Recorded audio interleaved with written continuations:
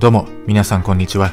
ささみでございます。今日は仕事でだいぶこき使われたんで、夕飯はがっつりビビンバを作ろうかなと思います。ビビンバ、ビビンパ、ピビンバ、ビビンパは、呼び方はどれでも大丈夫らしいですね。なんか召喚できそうです。今、仕事の仲間はみんなで焼肉行ってるらしいです。私は誘われませんでした。お前すぐ帰っちゃったからさ、とか言われるんでしょうけど、絶対誘う気なかっただろ、この。いや、悔しいわけじゃないんですよ。悔しいわけじゃ。まあ、正直めっちゃ悔しい。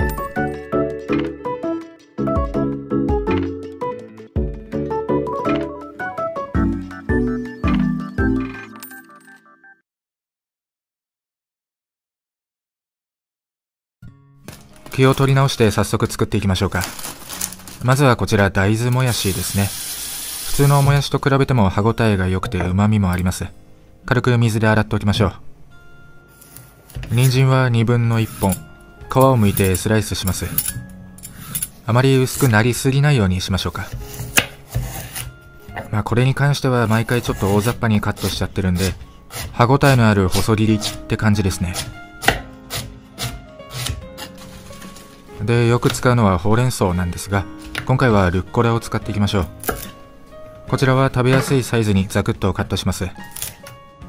ピリッと刺激のある苦味が美味しいんで、そのまま最後に添えましょう。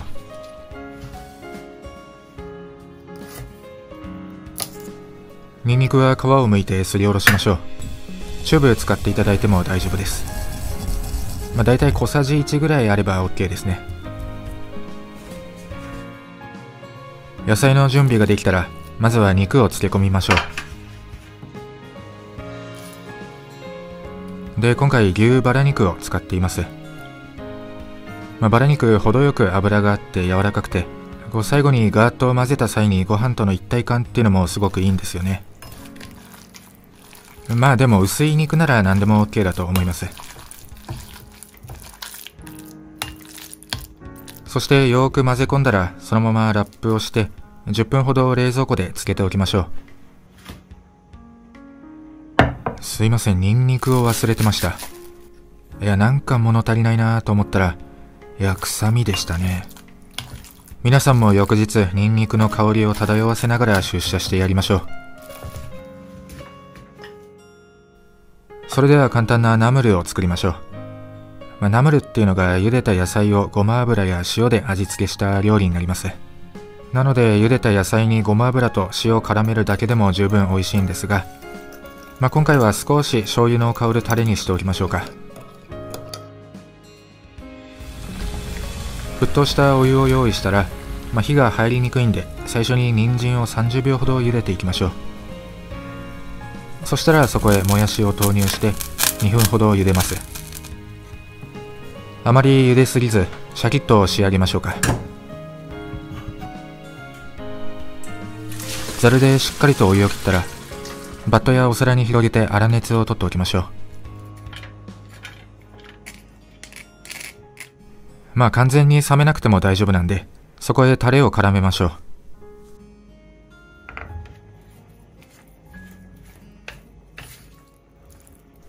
これだけでもちょっとしたおかずになるんで、よかったら作ってみてください。で、本当は石焼きとかできたらよかったんですが、ちょっと持ってなかったんで、今回はこちらのパエリア鍋で作っていきます。少し油を引いて、まずはお肉を炒めていきましょう。軽くほぐしながら中火で炒めていきます。柔らかく仕上げたいんで、見た感じ肉の赤みが目立たなくなったなぐらいで引き上げちゃいましょう。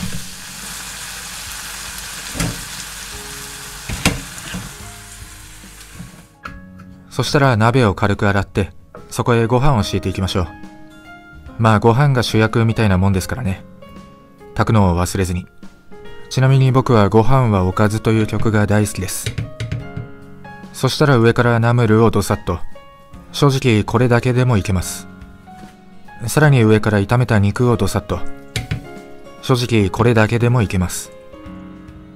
まあ、あとはちょっと火にかけてお好みでおこげとか作ってあげてもいいですね。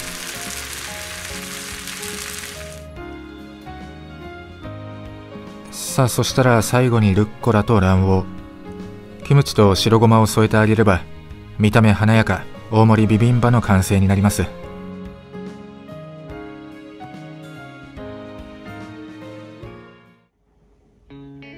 いやこの卵黄を割る瞬間ってのがすごい好きなんですよね。無限卵黄プチプチとか売ってたら絶対買います。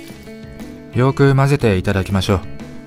辛みはマイルドなんでお好みでコチュジャンを添えてあげてください。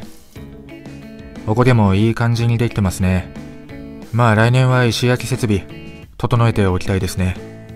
焼肉行ったらビビンバ必ず頼んじゃいますよね。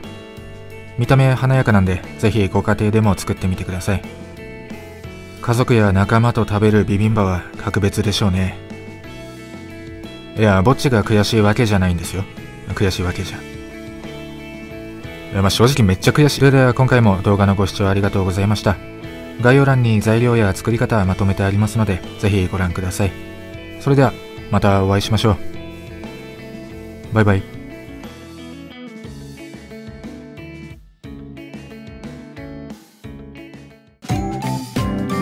You.